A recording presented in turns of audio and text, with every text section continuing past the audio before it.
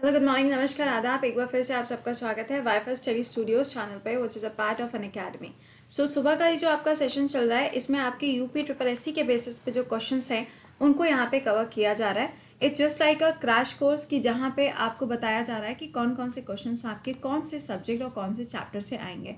इसके अलावा आपके जो दो स्पेशल क्लासेस चल रहे हैं अन अकेडमी पे, एक क्लास होता है आपका सुबह साढ़े दस बजे जहाँ पे जनवरी टू मई 2021 तक के करंट अफेयर्स है। और इसके अलावा दोपहर में जो दो बजे आपका क्लास चल रहा है, यहाँ पर आपके प्रीवियस ईयर पेपर कराए जा रहे हैं एसएससी एंड रेलवे के। क्यों कराए जा रहे हैं? भाई, देखो नीड है अभी, क्योंकि जुलाई में बोला गया है कि पेपर जो है वो हो सकता है। तो इसके लिए अभी से तैयारी कर लो, अच्छी बात है। सेकेंडली सुबह सात बजे करंट अफेयर्स का सेशन जो है वो आपके लिए सबसे ज़्यादा मैंडेटरी होता है। और अगर आप सेशन में लाइव नहीं आ रहे हैं तो प्लीज़ इस चीज़ के लिए थोड़ा सा क्या हो जाइए अटेंशन तो ज़रूरी है है ना? तो मिलेंगे अभी इस क्लास के बाद में आपसे सुबह सात बजे के सेशन में। और एक बार से और मेरे को ये बता दो कि if you are not liking the session तो मैं इसको बंद भी कर दूँगी, कोई दिक्कत की बात नहीं है।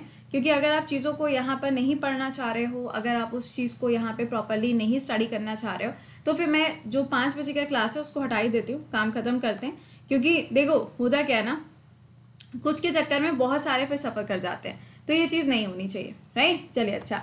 इसके अलावा आपका जो नया वाला बैच स्टार्ट हुआ है, वो मैंने आपको बता दिया था कि सिक्सटीन ऑफ़ जून से नया बैच स्टार्ट होगा।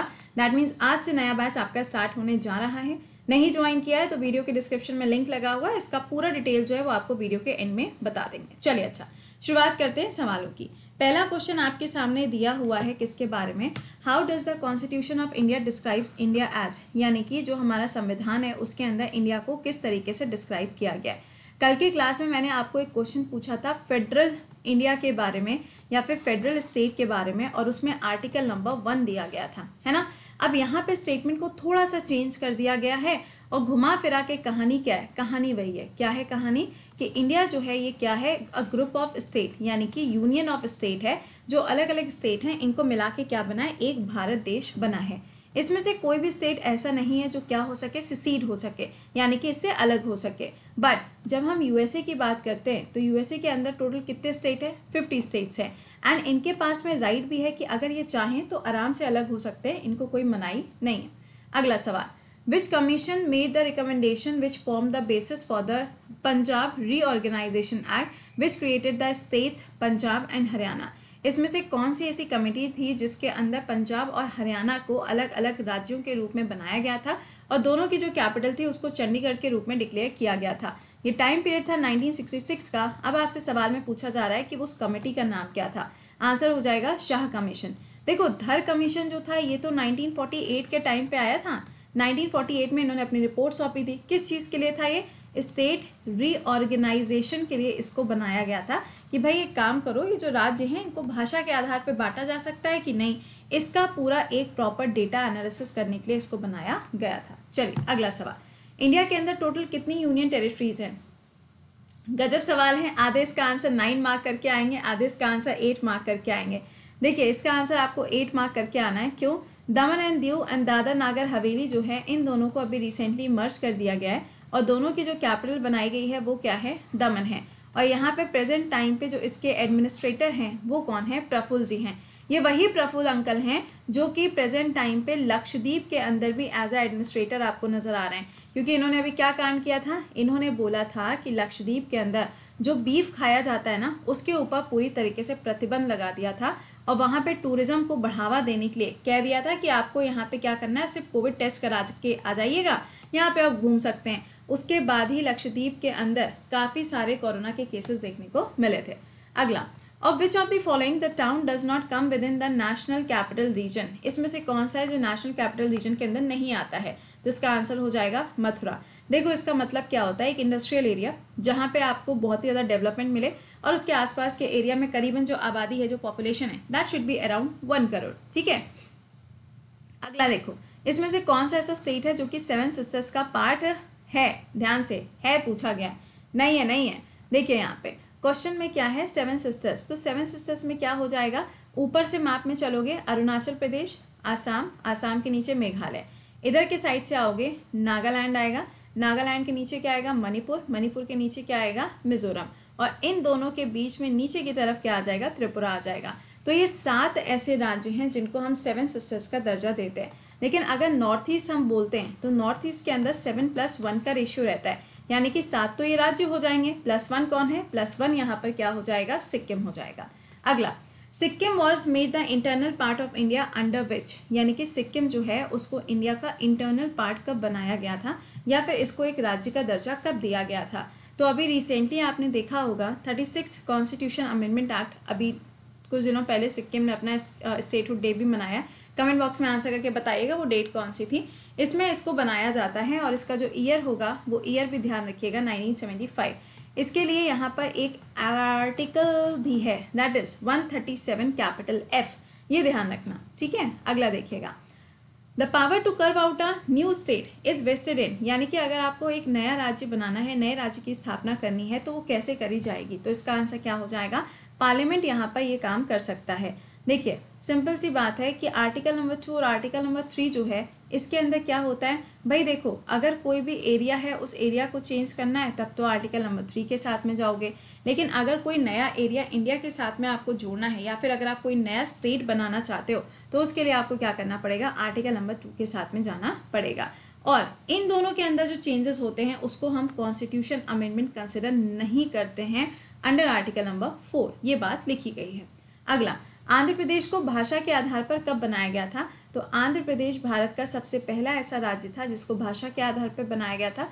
उसके बाद में इसको एडमिनिस्ट्रेशन के बेसिस पे 1956 में बनाया गया और फिर 2014 में इसको अलग हिस्से में तोड़ दिया गया। और नया राज्य जो यहाँ से निकल के आया वो कौन सा था? तेलंगाना था। चलिए नेक्स्ट बताइए। By which of the following constitution amendment Delhi has come national capital region यानी कि दिल्ली जो है वो एनसीआर के अंदर आता है और इसको एनसीआर के अंदर कौन से वाले अमेंडमेंट के द्वारा रखा गया तो इसका आंसर हो जाएगा सिक्सटी नाइन अभी लेटेस्ट में आपने देखा होगा कि इसको लेके काफ़ी ज़्यादा विवाद चल रहा था। कहा जा रहा था कि जो उपराज्यपाल है, यानी कि जो एलजी हैं उनके पास में ज़्यादा पावर है या फिर केजरीवाल जी के पास में ज़्यादा पावर है? तो इसी का जो कॉन्फ्लिक्ट था, वो भी आपने देखा होगा sixty ninth constitution amendment act के अंदर। अच्छा अब यहाँ पे ये बताओ कि अगर आपसे ये पूछा जाता है कि इसका ईयर क्या है तो इसका ईयर आप कमेंट सेक्शन में आंसर करके बताइएगा। अगला, Uttarakhand state came into existence on Uttarakhand को यहाँ पे राज्य का दर्जा कब दिया गया?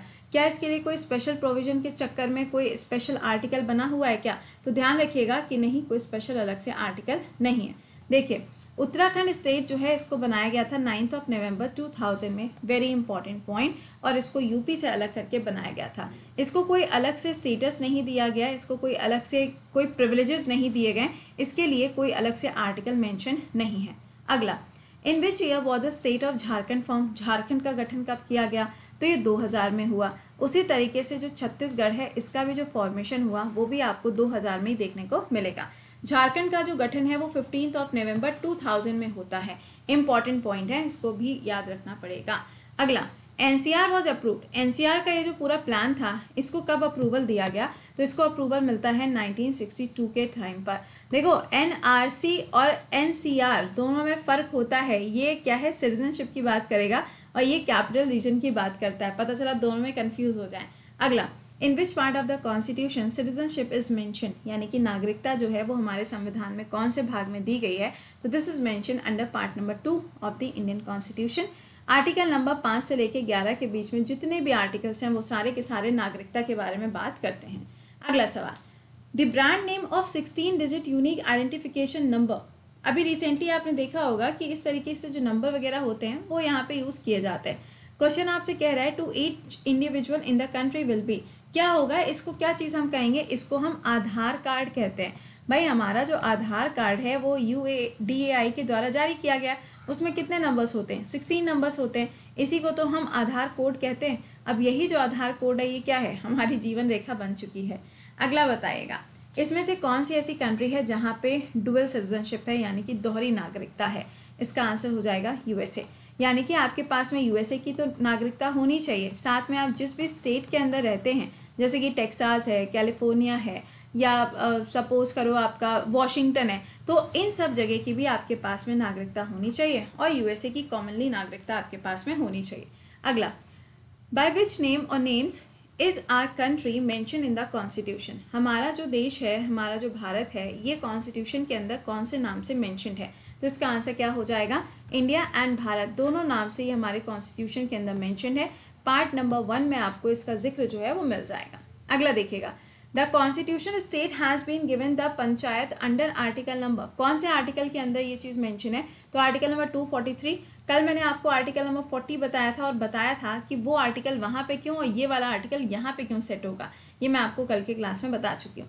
अगला, पूछा जा रहा है आपसे कि जो पार्लियामेंट होती है, उसके पास में रेजिटरी पावर्स होती हैं। यानी कि अगर कोई भी ऐसी चीज़ है जो कॉन्स्टिट्यूशन के अंदर जो तीन सूचियाँ हैं union state and the concurrent अगर कोई भी बात इनके अंदर नहीं लिखी है तो उसे हम क्या कहेंगे? उसे हम रेजिडोरी पावर कहते हैं। किसकी? पार्लियामेंट की। क्यों?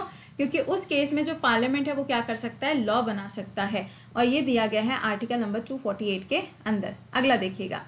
The executive power of the state are vested in the governor under article number dash of the constitution कौन से आर्टिकल के अंदर है? तो ये है आर्टिकल नंबर 154 का क्लॉज नंबर वन और आर्टिकल नंबर 153 जो है, वो गवर्नर के बारे में बताता है। 155 जो है, वो अपॉइंटमेंट ऑफ़ गवर्नर के बारे में बताता है। अगला फाइनेंस कमीशन कॉन्स्टिट्यूशनल बॉडी है तो ऑब्वियसली बात है कि किसी आर्टिकल में दी होगी।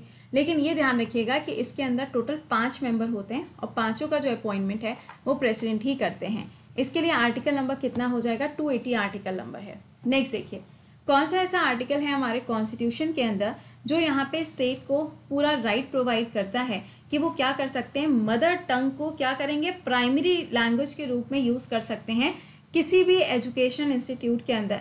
अब अभी आप देख रहे हो तुलु लैंग्वेज जो है, उसको लेके काफ़ी ज़्यादा विवाद चल रहा है है ना? ये कहाँ की है? केरला और कर्नाटका की सुबह सात बजे के क्लास में आपको पढ़ाया हुआ है। इसीलिए कहते हैं कि जब सात बजे के क्लास में आओगे तो आप अपने जीएस के पार्ट को करंट से जोड़ पाओगे। और जब तक आप ये चीज़ नहीं सीखोगे, तब तक आपकी पढ़ाई का कोई मतलब नहीं होता है। ठीक है? चलिए, इसका आंसर क्या बनेगा? इसका आंसर हो जाएगा article number three fifty capital A के अंदर प्राइमरी एजुकेशन के रूप में इसको कंसिडर किया जा सकता है। ठीक है? तो ये तो हो गया अपने लोगों के पॉलिटी के कुछ क्वेश्चंस जो आपको क्या करने चाहिए, भैया अच्छी तरीके से समझ लीजिएगा, पढ़ लीजिएगा, काम आएगा आपके।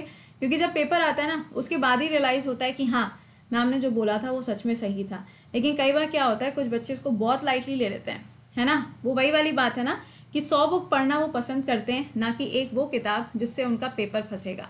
ये रियलिटी है। तो बस इस रियलिटी को थोड़ा सा चेंज कर लो मोल्ड कर लो, ताकि प्रॉफिट आपका हो। और इसके अलावा जो मैंने आपको बताया अभी पेड बैच के बारे में पेड बैच आपका स्टार्ट होने जा रहा है सोलह से। और ये जो बैच है, इसमें क्या है भैया एसएससी का जो मेगा सब्सक्रिप्शन है, आप उसको अवेल कर सकते हैं। और ये भी मालूम होगा कि भैया प्राइस तो हाइक होने जा ही रहा है, वो भी हम आपको बता ही चुके हैं। तो प्राइस हाइक वाली जो चीज़ है, वो भी ध्यान रखिएगा। और इसके अलावा आपका जो टेस्ट होता है, ये टेस्ट आपका कब कब होता है? This use to take place on Sundays तो आप संडेज को ज्वाइन कर सकते हैं। प्राइस हाइक वाली बात जो है वो एक बार से चेक कर लीजिएगा और सात बजे की क्लास में आपको सारी चीज़ें तो वैसे भी पता चली जाती है। तो चलो मिलते हैं सात बजे। टिल देन खुश रहिए, मुस्कुराते रहिए बाय एंड टेक केयर और हाँ सेशन को एक बार से लाइक और शेयर मार दिया करो।